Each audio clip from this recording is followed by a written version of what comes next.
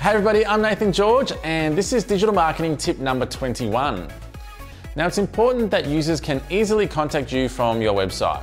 And you can do that with a simple inquiry form on your contact page or perhaps an interactive map so that users can find their bearings of where you are.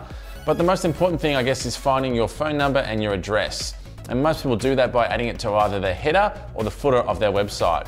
But it's especially important from a mobile device because users might be out and about and they need to find your contact details quickly. So make sure that your site is optimized for mobile and that your phone number is easily found.